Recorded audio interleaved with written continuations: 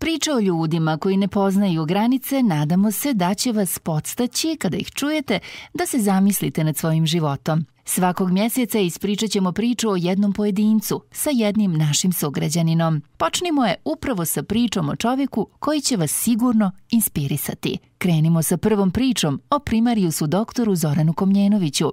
Običnom, a tako neobičnom. Obično, jer on je baš u dvije riječi, ističe se, ne miruje. Nekim ljudima je svaki dan pun uzbuđenja, ispunjen događajima koji ih čine srećnim i gura naprijed da istraju. Ovo je prva priča koju možemo najaviti sljedećim riječima. Humanost, društveni angažman, buntovnost i imenom primarius doktor Zoran Komljenović. Susret sa njim, gdje bi drugdje bio, do na radnom mjestu, hiruškom odjeljenju Zvorničke bolnice, čiji je načelnik, kako drugačije ga započeti, do sa dobar dan. Dobar dan, doktore Komljenoviću, kako ste? Mm, hvala Bog, dobro. Ste li se umorali danas na poslu? Ne mnogo. Je li bilo mnogo posla? Nije. O, inače, kako je korona počela, kako smo pola, više od pola bolničkih kapaciteta su postali COVID bolesnici, manje posla, radimo sa hiruške strane isključivo hitne slučajeve i onkološke. Ušao je virus u bolnicu, ne, ne postoji apsolutna zaštita, tako da postoji uvijek neki određeni rizik da bolesnik koji je negativan dođe pa da se zarazi. Da li više vremena provodite u bolnici ili u kući, u svom domu? U zadnje vrijeme manje u bolnici. Kada sam bio mnogo mlađi, sam više provodio vremena u bolnici. Radio sam i u ratu. Tad sam živio u bolnici nekoliko godina, 24 sata, bukvalno svaki dan. I to je bila žrtva koju bi trebalo podnijeti da bih postao eto, dobar hirurg. Sjećate li se tog prvog dana kada ste došli sa kofrom u grad Zvornik? Naravno, Tad naravno. Tad sam bio i podstanar i... Kako je osjećaj bio? Promijenio sam jedno 6-7 lokacija u Zvorniku, ovaj, što soba, što neki stančića, kuća.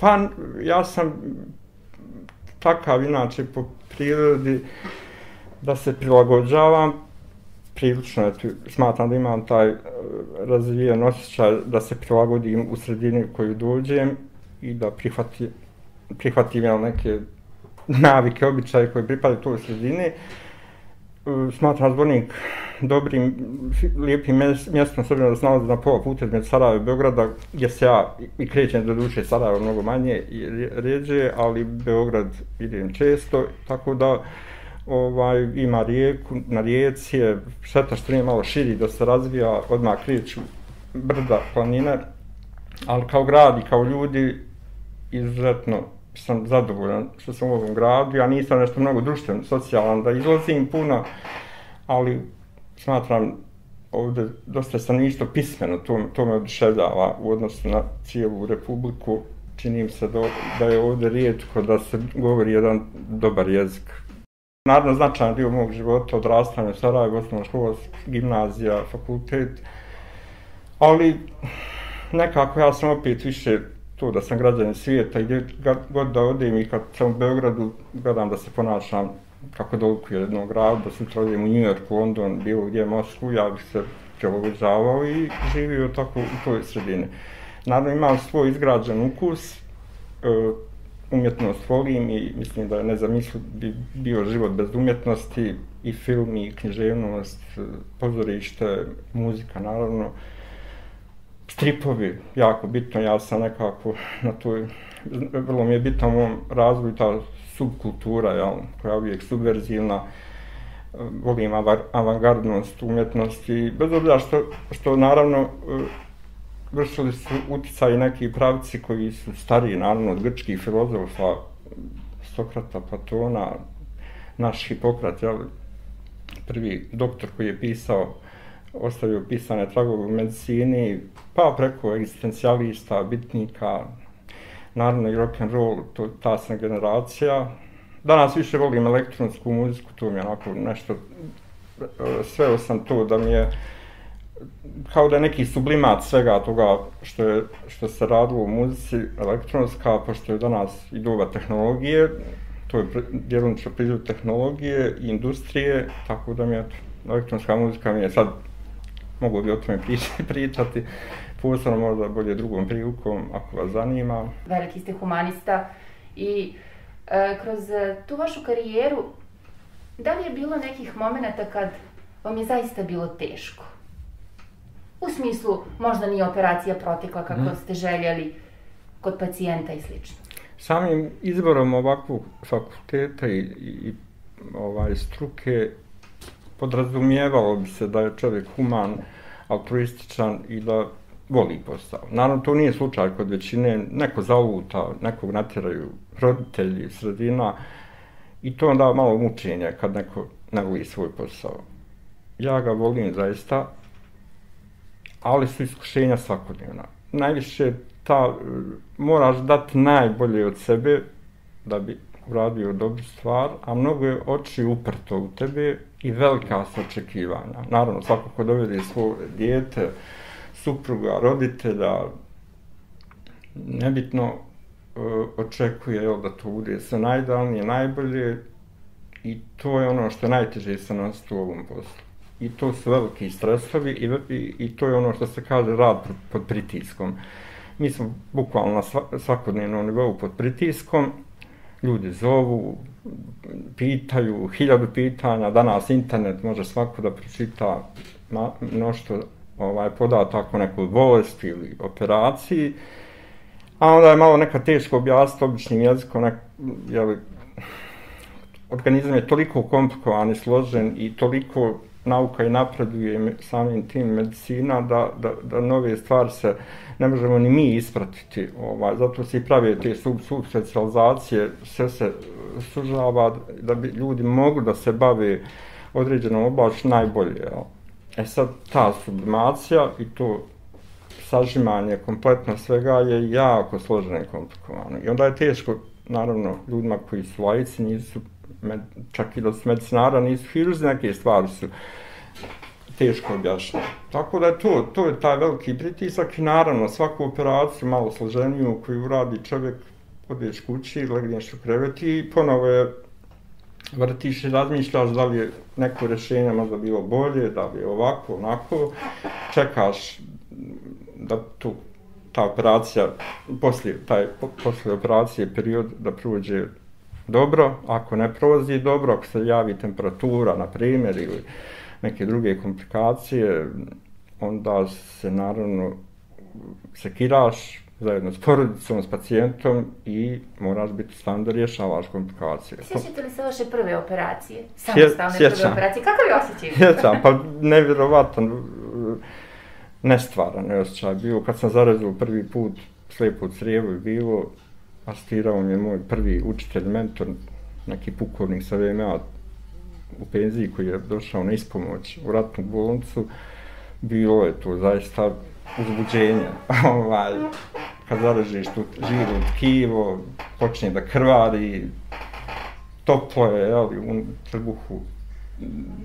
To je bilo zaista onako uzbuđenje. Ja sam se uzbudio. Ima neko ko možda i nije, ali, ali misli da laže, ko nije. Ovaj, Pijem da su krenule te prve operacije.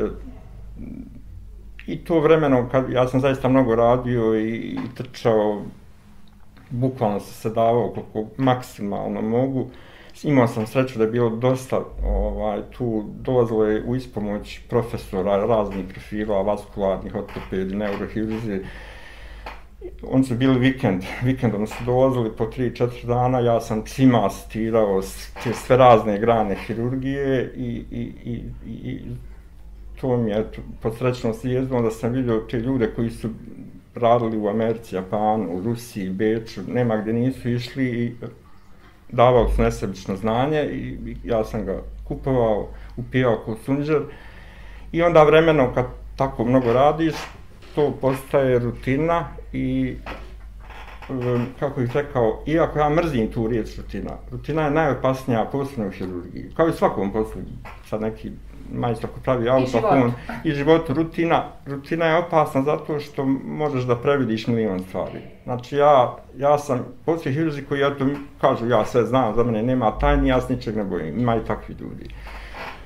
Ironično da kažem, ja s njima kao divim, ali zaista ja doživljavam svaku operaciju od kile ili slijepog strijeva što u narod kaže, aj, to mala operacija, samo onaj koji puno radi zna koliko i te male operacije mogu da se komplikuju smrtnog slučaja, tako da je to, ovaj, ja se svim silama trudim da ne budem rutiner. Iako svaka manje i više operacija ima svoje, svoje korake, jel, kako, se, kako ide operacija. Međutim, kad nailaziš na patološki substrat, na bolest koju treba da operišeš, ona je totalno nepredvidiva. Jer svako slijepo crijevo, svaka žučna kesa, e, svaki tumor na bilo kojem organu u trbuhu je drugačiji. Drugačije veličine, izgleda, lokacija, anatomija je drugačija. Nije džabe, ne postoji termin hiruška anatomija. Mi učimo neku klasu anatomije gdje najčešće neka artira živac, kost, miši i tako dalje. Međutim, u patologiji to je izmijenjeno. Užasno izmijenjeno i onda ne možeš primjenjivati neke korake koji su nekad negdje napravljeni uh, u nekom standardnom u standardnim operacijama. Izvan standarda su te kada naiđeš na neki slučaj koji te, i tebe iznenadi, ti nikad ne znaš šta ćeš naći kada otvoriš trbuh, e tada moraš da korake te malo izmijeniš, malo drugačije da radiš i tu ne smije biti rutine, nego moraš biti oprezan i duboko promišljati, a u isto vrijeme moraš i biti brz, jer relativno brzina operacije je bitna i moraš uvijek da napreduješ, da ne tafkaš u mjestu, ne krenješ, vraćaš se, nego moraš imati neki zadat cilj i put do tog cilja. Kada se operiše pacijent, pa porodici saopštiti rezultate operacije, da li se proteklo kako treba pacijentu najprije, mm -hmm. pa kada operacija ne uspije, koliko je vama teško da saopštite vijest koja uopšte nije lijepa? Pa najteže, tu je... Pripremate li se psihički? Ka, ka, kako to? Nema vremena. I to je dio našeg posla i vremenom naučiš da se nosiš sa tim. Ne možeš nikad da se navikneš, nikada da to postane nešto uobičajno, nego jednostavno je to stres koji moraš da naučiš da živiš, a svaki put je stres. To su tako stresne, potresne situacije da to jako teško, ali moramo, to, to je dio posla. Ja bih negdje taj ratni period, jer ste i tada radili i ovaj sad, korona period, mhm, kako ga nazivamo, e, mnogi kažu da je teže sada nego što je bilo u ratnom stanju. Mm -hmm. Što mislite o tom?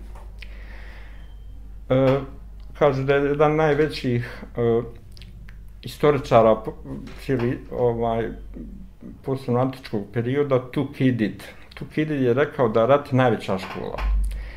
I kad sam ja čitao o istorijatu hirurgije posebno i medicine, svi veliki, najveći hirurzi 18. i 19. vijeka su bili sticali znanja i vještine u ratu, u ratovima raznoraznim, od Napoleonovih ratova i bilo koji. To je zaista veliko iskustvo. Ratna hirurgija je baš onako i mi učimo, iako kad je počeo ovaj rat, stari hirurzi uopšte nisu znali te principe koje, koji pišu u knjigama, ali pa se zaboravi, jer nije bilo rata 40 godina od 45. do 90. i ta se iskustva zaboravi. I onda se ponovo to uči na greškama i ja sam sreća bio mlad, tek počinjao specializant i prihvatao sam te stavove ratne hirurgije, koji su jako specifični, različiti od mirnodovske. I rat je naravno iako je velika škola, ona, o, o, rat je o, veliko, kako bih rekao, ispit čovječnosti. Jer u ratu si u raznim situacijama. I neprijateljski vodenici, da kažemo tako, ranjenici. I svakojak izazov rat koji je povezan sa pljačkom, sa raznim užasavajućim stvarima, ako to preživiš, ostaneš čovjek i ne, ne odoliš iskušenje koje ti rat može poniti da profitiraš, onda si na dobrom putu da opstaneš. Što se tiče tog pitanja, i u ratu, naravno, rat je, ja sam to rekao sada, internistima, infektiolozima, pneumofiziolozima, ti ljudima koji su primarni u borbi protiv covid u ovom sada periodu, oni su zaista sada pravi junaci i on rade od marta aprila non stop pod pritiskom i umorni su, iscrpljeni su, nekad ni oni ne znaju kako da se iznesu s tim i moramo znati da razlika između internista i tih internističkih grana i hirurga je velika. I su ljudi koji eh, vremenom kroz to školovanje, specializaciju, nauči da, da se može raditi tri dana da spavaš u bolnici, da radiš non stop malo, ne, i u sali si, i, I to su užasni fizički napor, pored psihički. Dok internisti su drugačija vrsta posla. On, recimo, ako primi infarkt u dva sata, ide kući pola tri kolega, preuzima taj infarkt, nastavlja ga liječiti. Primjer jedan običan. Mi ako primim ja u dva neki, na primjer, akutni abdomen koji mora da se operše, ja ostajem i opersaš do 5, 6, 7, 8 na večer. Iako mi nije radno vrijeme. E to je ta razlika. U ratu su hirzi vukli taj posao, radili i iznijeli najviše tereta na svojim plećima. Danas, to su internisti na prvom mjestu, zato što ih najviše ima. Potom, ti su specijalisti ili posebne grane infektozi, gastroenterolozi, pulmolozi, pneumoftiziolozi, to je njihovo sada. Pa i anestezijolozi koji se sve više uključuju kad se stavljaju na aparate, na ove ovaj, vještačku ventilaciju i tako da ne, teško je to uporedljivo. Kad je rat, rat je, pa nekako svi se prihvatiš to i kao hajmo sad preživi svaki dan, nije bilo ni hrane, ni neki osnovni potrebština u ratu i s tim smo ovaj, kuburila danas, eto kad imamo sve telefone, internet, e, kao neku iluziju normalnog života, imamo nešto pravilno što se dešava i što je puno nepoznanica tajni. Nikad nismo naišli na takav virus koji daje ovako raznolike simptome i napada razne organe. Velike e, komplikacije i posljedice korone. Napri... Vi ste preležali? Ja sam, preležali. da. Kako su vaše iskustva? Pa, teška, dosta teška.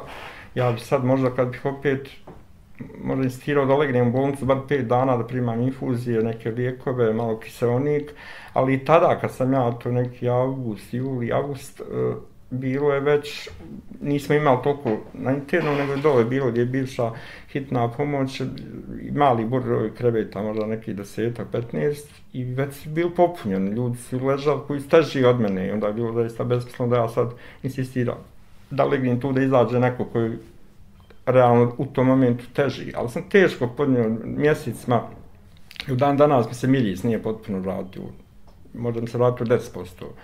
I, I to čovjek nauči da živi s tim, čudno, čudan je osjećaj jako. Hajde, sreća, ne osjećam neprijatne mirise, ovaj, to je dobra strana toga. Uvijek gledam neku dobru stranu iz nečega što je loše, ali je istrpljenost, malaksavost, brže se umaram, tako da da je to baš bilo je malo pritiska šokova i Dobro, ovdje nećemo, ovdje nećemo. ćemo nećemo više o koroni. Nećemo. Kako ste se mm -hmm. pripremali za tu najkomplikovaniju, složeniju i dužu operaciju mm -hmm. vaše karijere? Pa bilo je više, naravno, tih operacija i obično su one neočekivane. Neočekivano naiđemo na nešto što bude potpuno drugačije od onoga što smo mi pretpostavljali. I kada se urade mnoge pretrage najvi, na najvišem nivou diagnostike, mi opet naiđemo na nešto što jednostavno još uvijek nije baš toliko tehnologija potpuno došla do tog nivoa, posebno u abdomenu. U mozgu se može poprilično lokalizovati proces tačno koju kojoj je zoni, koje veličine do milimetara, ali on je nekako lakši za diagnostiku. Dok u trbuhu crijeva koja non stop rade, ima ih 5 metara tanko, metar i pol do 2 metra debelo crijeva, tu je malo drugačija situacija. Imamo taj neki retropeptonalni dio, složenija je anatomija. To je jedna virtualna šupina koja može primati najrazorazniji oblike i primiti desetine litara tečkućne. I sad se kako je to malo i problematično izmjeriti, problematično nepravilne su forme i... Mm tako da je nekada teško isplanirati unaprijed. Mene je često mlađe kolege pitaju kao šta mi je plan, ideja za operaciju, nažalost, često ne, ne možeš imati plan, nego to radiš kada otvoriš trbuh i onda šta ćeš naći u njemu. I to je ovaj, isto jedna od neizvjesnosti i uzbuđenja koje nosi ovaj posao. Uzbuđenja, hajde, uzbuđenja negativna, ali u smislu neke kreativnosti i izazova u pozitivnom smislu. Znaš, to je ono što nas vjerovatno kada bi bila svaka operacija slijepo trebaju kili svaki put ista, to je postao moguće dosadan posao. I tad mogu reći u redu imaš rutinu i radiš to rutinski. Ali pošto stalno ne nalaziš na neke ovaj, u tom smislu izazivne nejasnoće, drugačiju anatomiju, onda, onda je to izazovno, da ti riješiš to.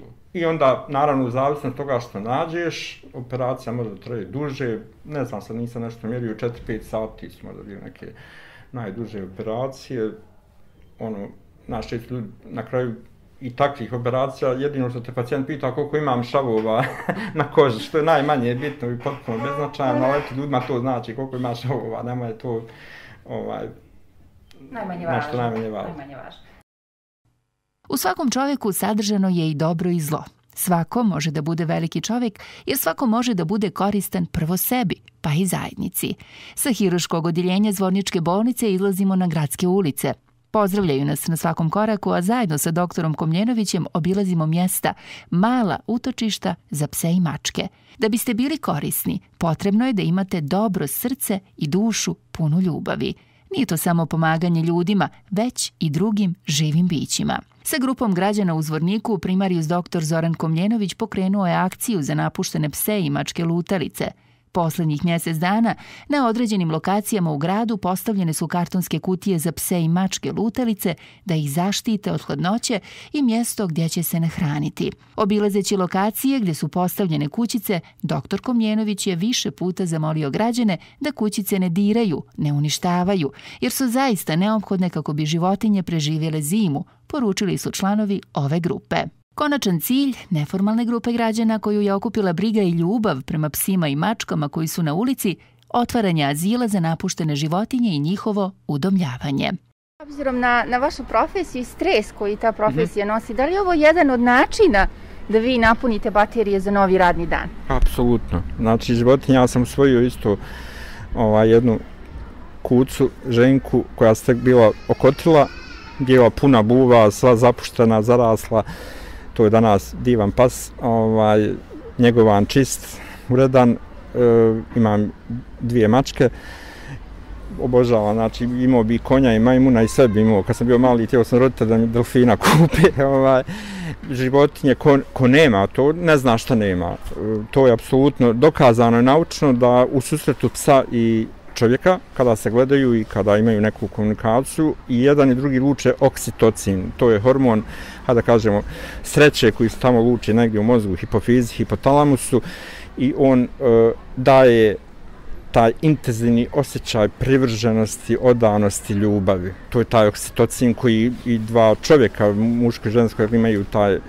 ovaj, kada su zaljubljeni u ljubavi, e, pas i to je jedinstven slučaj u svijetu da dva sisara različitih, ovaj, različita dva sisara e, luče taj hormon i to je jako onako značajan podatak i to je dokaz da psi imaju intenzivna osjećaj za ljubav, za odanost, vjernost i za patnju, za bol, za strah. Zato apelujem ovom prilikom još jednom po hiljadi puti nešto je to objavljivao. Molim građane da, da imaju u vidu da ta bića, kada pukne svaka petarda, oni, njima srce kuca preko stot kucaja, zabilježene, zabilježene su širom svijeta smrti od šoka, od infarta, zbog tog straha. To isto kao djeca u ratu, kada granate su pucale i municija, doživljavali užasne stresove koji dan danas ovaj, imaju svoje posljedice. Tako apelujem zaista. Tako apelujem da ljudi koji imaju svoje pse, kućne pse, ovaj da čiste za, za njima ovaj kada imaju stolicu jel, da očiste, to nije problem kesicu malu ponije, da ne ostavi jer je priličan broj primjedbi građana da im djeca ugaze i ja, eto, zaista, to je konstruktivna jedna kritika koju prihvatam. Kod vas je izražena ta ljubav prema, kako prema ljudima, isto tako i prema životinjama. I između ostalog, evo, eh, pokrenuli ste i tu akciju kućice za napuštene pse u našem gradu tako je ovdje godinama postoji određeni broj velikih entuzijasta. Uglavnom su žene, djevojke koji su do sada udomili veliki broj pasa na čelu sa hatom našom hatom iz Karakaja koja sama ima 3-4 psa. I ja sam počeo da razmišljam da to nekako e, pokušamo e, omasoviti, dovesti u malo veći red. Koliko god ona sama, naravno, lakše je da je više ljudi uključeno. Pa sam ja tako razmišljao jedan dan napisao pismo opštini, obratio se opštini, primio me gradonačelnik, imali smo fin, konstruktivan razgovor, gdje sam ja tražio razumijevanje da nam dozvoli da napravimo 5 do 10 za početak kućica gdje bi se ti psi mogli sakriti od velikih hladnoća, srećom još nisu baš ono ekstremne hladnoće. Nabali smo te posude da i donosimo hranu, vodu, ako treba lijekove i to je prvi neki korak. On, naišli smo na razumijevanje, što mi je veoma drago. Sljedeći korak bi bio u Bosni već postoji i Republike Srpskoj ovaj projekat Dog Trust, e, britanska e, organizacija koja je donirala besplatno e, sterilisanje pasa i većina pasa na općini su sterilisani, to znači rade određeni veterinari. E, sljedeća bi bila korak da se svi psi pokušamo da ih popišemo, da vidimo to brojčano stanje, iako se ono iz dana u dan mijenja, prelaze iz Srbije recimo, ili dovedu neki ljudi iz federacije iz drugih okolnih krajeva i stresuju ih tu negdje u Karakaju i onda oni hodaju jel, okolo da se popišu, vakcinišu, očiste od parazita, čipuju i zadnja neka faza kada sagledamo koliki je to broj pasa bi bio pravljenje azila. To je ozbiljna znači, priča gdje treba da se mi registrujemo kao udruženje. To je malo komplikovan, složen posao gdje moramo imati sve strukture jednog udruženja ili fondacije, jer samo kroz takav e, način bi mogli da apliciramo za neke ovaj donacije. Ljudi su zaista Nešo, moj prijatelj, asistent i glavni čovjek za komunikaciju sa medijima, je ovaj sve to stavio na Facebook, na internet, na mreže i veliki broj zaista se ljudi nevjerovatno javlja sa Kube, Njemačke, Amerike, hoće da doniraju, hoće da pomognu, hoće da se uključe, da su, mi smo zaista odušljeni. E sad, Lično, kako su aha. naši sugrađani prihvatili ovu ideju? Naši, sugrad... naši, naši sugrađani, naravno uvijek, kao i u svakoj priči, postoje ono, ljudi koji su negativni, koji hejtuju, što se kaže moderno, ova, ali ima veliki zaista broj ljudi koji su se oduševili idejom, daju sugestije, želili bi se na, pitaju kako oni mogu pomoći, nažalost ne mogu još nešto konkretno dok nemamo udruženje. Mogu uvijek da obilaze kućice, čiste, donose hranu, mijenjaju vodu, to naravno uvijek može. Ima naravno i oni koji su imali primjedbe i zato smo mi maksimalno otvoreni i neka nam kažu sve što im smijete. Ima ljudi koji ne voli životinje, ne voli pse, boje se pasa. Ali po završetku toga što ste namjerili, te kako će dobrodoći i svim tim sugrađanima ukoliko napravimo azil i Tako je, to je, bravo, znači... to je, to je odličan zaključak i dalje, suština je, e, glavna su dva tu cilja u vezi azila, osim, naravno, da napravimo neke pristojne uslove, toplo, da im bude, to ne bude zatvor, neki azil je onako ružna riječ, ali e, jedina za sada, možemo ih staviti kao, kako bi mogli reći, ima još neke alternativne riječi, ovaj, gdje, e, stanište neko, prihvatilište. Tako, prihvatilište, bravo. Ovaj, ali je glavni neki, uglavnom nekom izvodu je da se ti psi udomljavaju. Udomljavaju porodice koje zaista iskreno vole životinje, hoće da udome, a takvi su najčešće u Evropskoj uniji. Jer Evropska unija je riješila maltene problem e, uličnih pasa, kod njih to ne postoji. I onda ljudi koji vide na Facebooku, na društvenim mrežama, da ima neki pas u nekom zvorniku, iako nikad nisu čuli, čuli ni ne znaju, zato oni bi voljni bili da usvoje neko lijepo kuće. Tako da eto, to je e, i za one koji ne vole pse, i oni trebaju to da gledaju pozitivno, da podrže taj naš, ovaj, tu našu akciju, jer ćemo se polako pod navodnicima rešavati tih uličnih pasa da ih pošaljemo na neko bolje mjesto gdje će ih neko obasuti ljubavlju, pažnjom, brigom, njegovom i, i svi ti psi koji su do sad udomljavani, meni su slali te slike, to je zaista predivno vidjeti kako uživaju, kako ih ti ljudi vode, ima ih dosta u Hrvatskoj, Sloveniji, tako dalje. I to je naš. Druga stvar je, um, time postičemo na neki način socijalizaciju, to je jako isto bitna stvar, socijalizaciju tih pasa. Ako, i psi su vrlo osjećana bića i ušte kao sve životinje, topokrne, sisari, oni osjećaju pate, imaju osjećaj straha, bola. Znači oni su jako slični tu čovjeku e, i, i njima treba čovjek kao podrška i pomoć. E, kroz to, tu pažnju koju ćemo mi njima ovaj, davati preko ove grupe, preko azila, preko ovih kućica je to da će on osjetiti tu brigu i po, bit će manje agresivni, socijalizovat će se i bit će međusobno bolji jedni prema drugima i prema ljudima. Naravno, uvijek je moguće da se desi da neki pa zalaje, da možda i nekoga napadne, to se prosto dešava, ali mi smatram da je ovo, mi predlažemo rješenje za, i za takve ekstremne situacije. Mnogi kažu čovjek ovaj, je gori od psa, rijetko Merlin Monroe rekla čini, nikad nije ujeo pas, nego čovjek. Ovaj, tako da je to ovaj, apsolutno jedna izuzetno pozitivna akcija. Obično negativiš uvijek neko što kaže e, može bolje. Ako može bolje, uradi to bolje. Nemoj samo da govoriš da može bolje. Znači, da, mi treba smo... Učestvovati. Treba učestvovati. za sve oni koji mogu i koji apsolutno. da se pridruže ovoj Apsolutno. Prošeteli smo sa doktorom Komljenovićem, posjetili ga i na radnom mjestu u bolnici. Dok se rastajemo, razmišljamo o izreci da čovjek koji ne voli životinje, ne voli ni ljude. Jedno priznanje koje je zvornički hirurg primarius dr. Zoran Komljenović dobio izdvaja se svojim obrazloženjem, koje ga možda najbolje predstavlja. Prije dvije godine primarius dr. Zoran Komljenović dobio je priznanje za građansku hrabrost i očuvanje profesije. Nagrada mu je uručena na Evropski dan prava pacijenata. U okviru našeg programa razgovarali smo sa primarius doktorom Zoranom Komljenovićem, hirurgom u Zvorničkoj bolnici. Bila je to prva emisija Život priča, jedan čovjek, jedna priča o ljudima, njihovim životima, nadanjima koji inspirišu ljude oko sebe, nikada ne odustaju i pravi su borci.